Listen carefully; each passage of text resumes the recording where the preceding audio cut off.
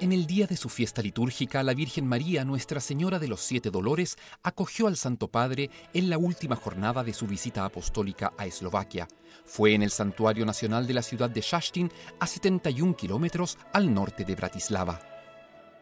El Papa Francisco hizo un recorrido por las calles aledañas a la explanada donde se celebró la Eucaristía, de fondo se veía el templo donde minutos antes el pontífice se había reunido en oración privada con sus hermanos obispos. En el altar que se levantó lucían la cruz monumental y la venerada figura barroca de la Madre Dolorosa con su hijo sobre su regazo, Destacaba también esta innovadora imagen de San José, tradición y modernidad conjugadas como signo de los desafíos que enfrenta la Iglesia eslovaca, llamada a anunciar la fe en Jesucristo, respondiendo a las necesidades de la humanidad contemporánea, pero sin olvidar sus raíces cristianas. Un modo de evangelización profético del cual la Virgen fue un ejemplo y que señala el estilo con que los discípulos de Jesús han de dar testimonio cada día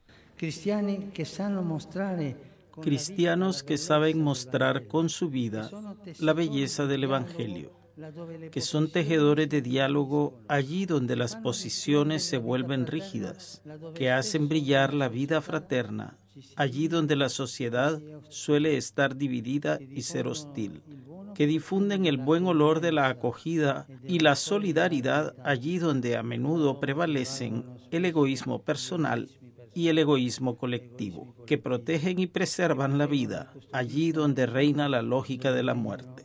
María, Madre del Camino, se pone en marcha. María, Madre de la Profecía, finalmente, María es la Madre de la Compasión un mensaje que llegó al corazón de los más de 60.000 fieles, 90 obispos y 500 sacerdotes presentes que mantuvieron un profundo recogimiento durante toda la celebración.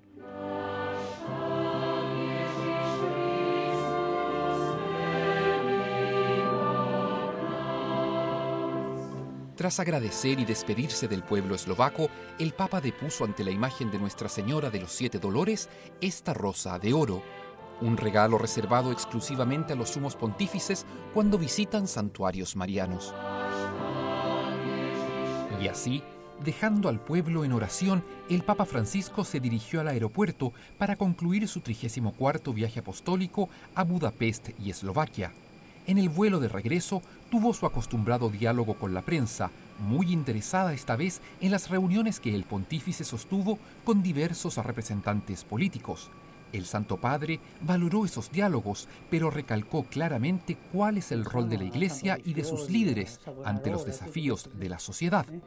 Cuando la Chiesa, per defender un principio, cuando la Iglesia, por defender un principio, lo hace de manera no pastoral, termina entrando en el ámbito político.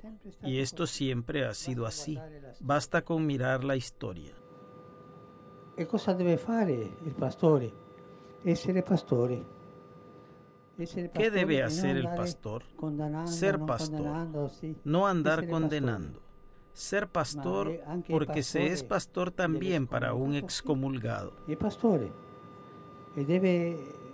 Pastores con el estilo de Dios, que es cercanía, compasión y ternura. Toda la Biblia lo dice. Vicinanza, compasión e tenerezza. Toda la Biblia lo dice. A las 15.30 horas de este jueves 15 de septiembre, el avión con el Papa y su comitiva volvió a posarse sobre suelo romano. Fueron cuatro días de intensas actividades, encuentros masivos y profunda oración, que ya se inscriben en la memoria de Budapest y Eslovaquia y en el corazón del sucesor de Pedro.